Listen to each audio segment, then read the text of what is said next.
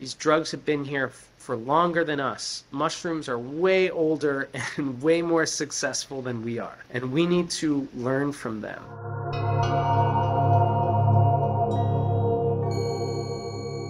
My life before psychedelics, I can't really remember that.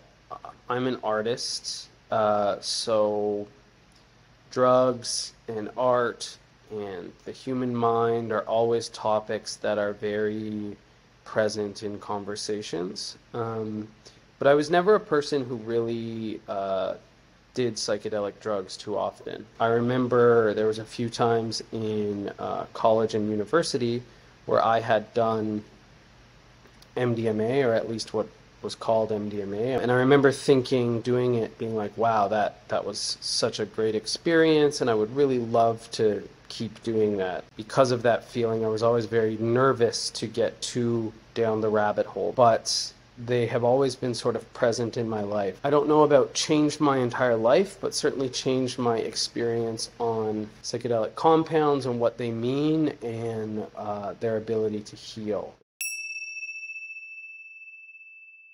You know what? I would say that the first time that I heard psychedelics could be used in a good way was really the legalization of marijuana in Canada. I remember that when weed was trying to be legalized in Canada, the argument for it was really a medical one. Yeah, so that was kind of the first time where I started to realize that drugs in general um, could be used for um, for positive things and not just partying or not just um, kind of extracurricular activity, but rather like a real healing, uh, something that can heal.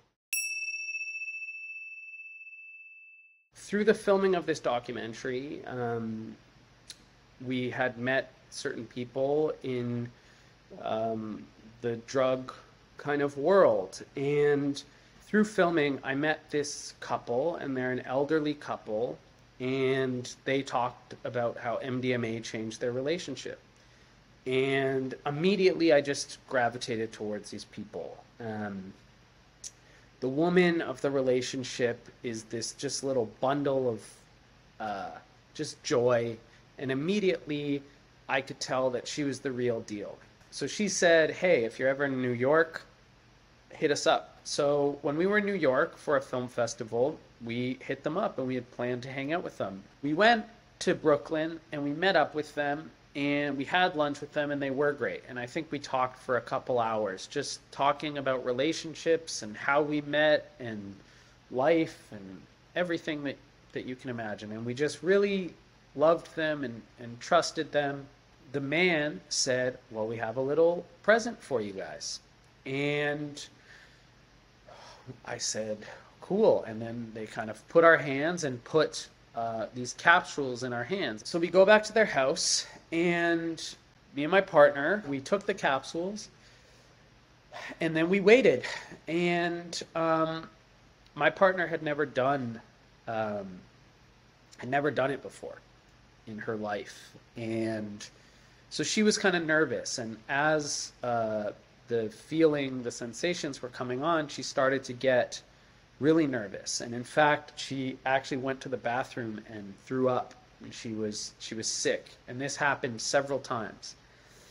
And, you know, I was holding her hair as she threw up, and then she's whispering to me like, "Oh my God, what have we done? We're in here with these strange people. What are we doing? We don't know what we've taken and what we've done."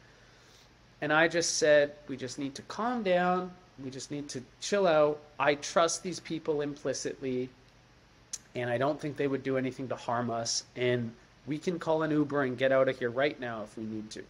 And um, that kind of calmed her down, and, and the drugs were sort of starting to take hold. And at which point, the the older man, the man who had given us the drugs, again, I'm going to leave his name out, but he came in and he just said to us, "You guys stay in here and just talk to each other, just relate to each other, and just, just, just vibe basically."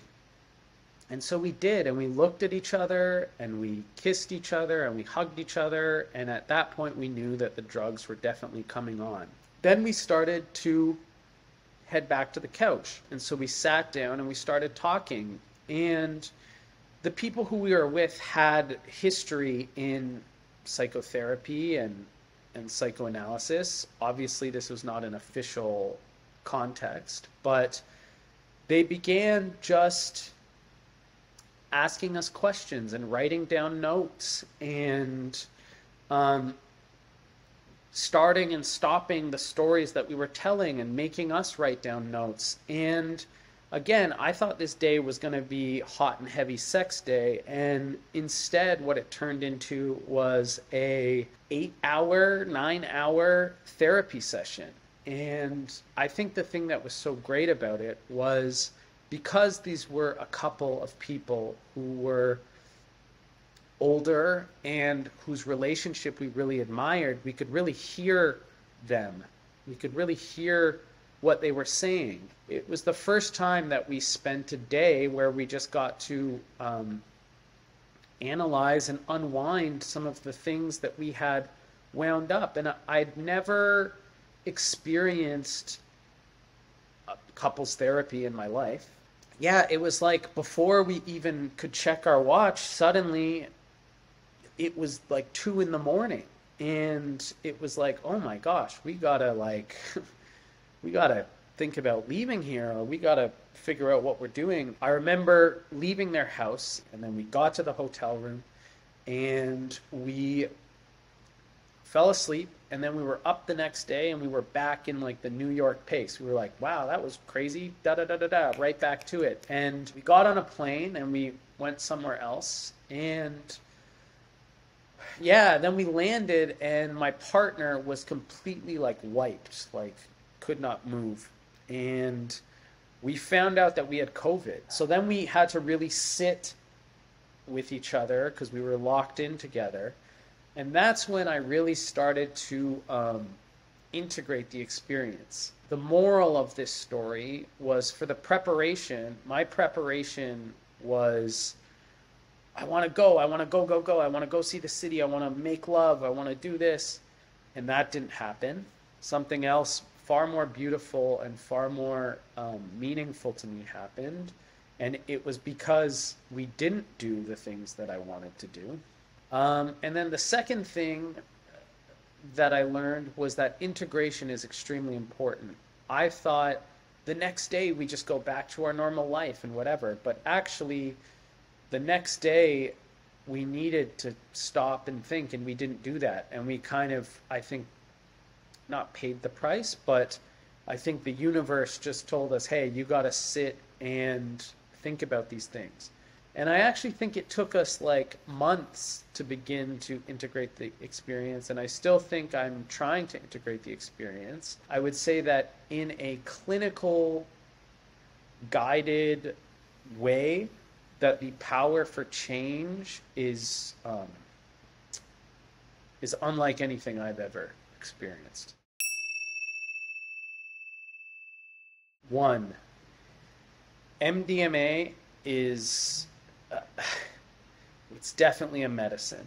And it's something that we need to decouple away from raves and rave culture. Um, I'm very curious what it would be like to go to an MDMA funeral or an MDMA wedding or an MDMA birthday party and how we could potentially change some of those events from being drinking events to being events where we really share how we feel about each other and, and how we can connect. I thought what I needed was fun, hotel rooms, traveling around. And what I needed was to stop and listen and slow down. The last thing that I learned is that integration is everything. And when we talk about psychedelics, we need to be incredibly clear about what our plans are for integrating things. Um, yeah, that's the most important thing to me. Resources that I would advise people to use before they begin their psychedelic journey. Well, obviously, the Nikean Foundation Storytelling Project to look at stories and see if it's right for you. It might not be. Um, but the hope is that when you hear people's stories you'll and see their faces you'll see that there's all sorts of people that are doing this so the thing that i would say is that there is a organization um, i believe it's called DanceSafe um, that provides testing kits so to test all of your drugs multiple times um, because sadly drugs are still underground and underground means pollution and I don't want anyone to get sick or hurt or anything like that. So to make sure that you're testing your drugs and getting them from a safe place and even if you're getting them from a safe place to test them, the testing kits are relatively cheap and you know, nothing's more expensive than your life. So I think it's really worth it to test these things. So I think know that lots of people all over time, probably even your parents, have done this, and you don't need to be scared. Um, you just need to make sure that you're in the right headspace um, to do these things.